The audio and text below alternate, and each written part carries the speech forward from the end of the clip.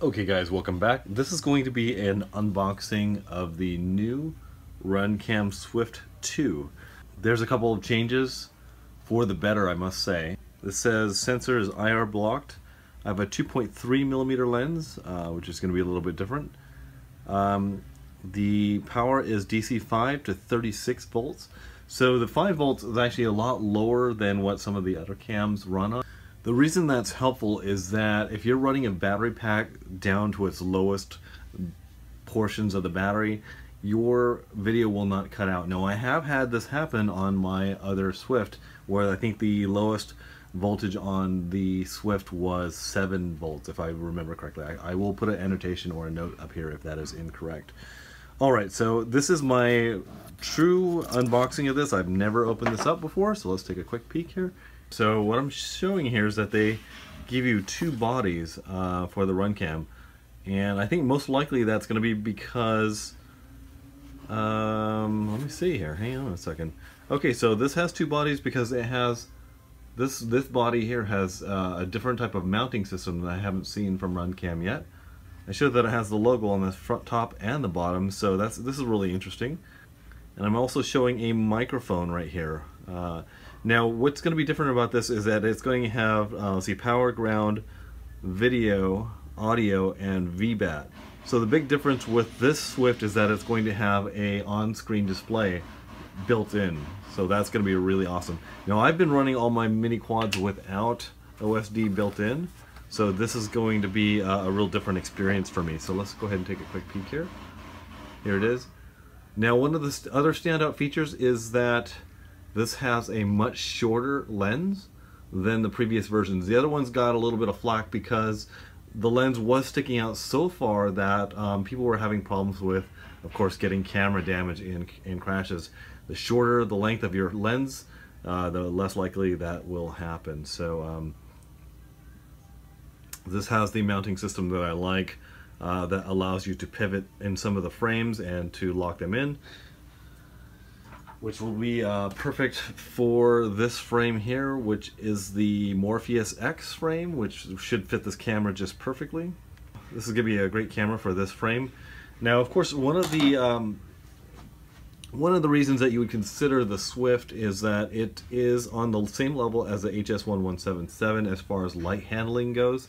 It's very, very quick out of the box and has very, very low latency as well. So let me just tear into the box here and see what else we have. RunCam Swift 2 user manual. Looks like they've got a nice user manual here. Let's take a quick peek. And they also have a customer comment, uh, customer contact card, which is always if you have a problem, you can contact them. RunCam's always been really great about customer service, so let me just take a look here. So I'm just going to put this up to here. It shows you how to um, change the OSD settings here. Here are some of the specs. If you guys want to pause here and read these things, you can. I'm just going to go through this quite fast here. Here's the camera menu. Camera menu again. Lots and lots of things with the camera menu here. Like I said, um, you guys can pause this information here if you need to. I think the back, okay, here is a quick diagram one thing about RunCam is they always have fantastic documentation of their products, which is great. Gives you as the end user all the tools that you need to uh, operate these cameras and to know what the specifications are. Guys, so let's just take a look at the rest of the box here. So guys, this is just going to be a quick unboxing. I am not going to be hooking this up on at the moment. I don't have a quad that I have handy to uh, to put this together with, but I would like to just um, show you guys what's in the box and what are some of the specifications and what are some of the things that are, you guys are looking forward to. Uh, like I said, this is going to be the first camera that I have had that has a, um, a, on-screen display. So here is how you're going to change that on-screen display. This little guy, if you guys haven't seen uh, RunCam uh, menus before, it's going to plug right into here and basically you push the button and your OSD controller is going to pop up and this has a joystick up, down, left, right, and pushing down for selection as well. So put that down here. Um, Runcam, as always, has the nicest cables, which are made of silicon, silicon, silicone, however you want to pronounce it, potato, potato. Uh, this looks like it might be an OSD cable. I believe these are uh, some of the cables that get plugged in to some of the flight controllers to relay the OSD information onto the camera. So I will research that in the future. Look forward to that in a future video.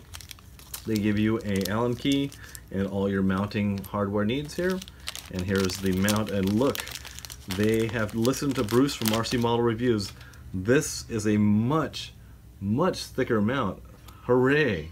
Look, this is actually much harder to flex than the other ones. The other ones you could just you could bend them back and forth. I'm putting all my strength into here, and I can't bend this back and forth.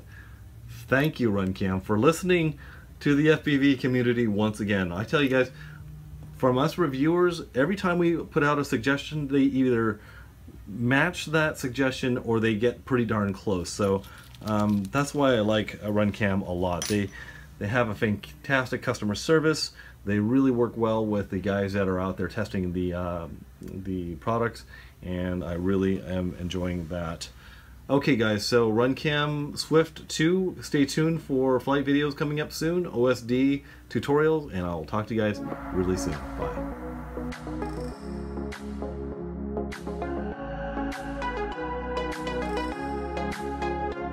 Down.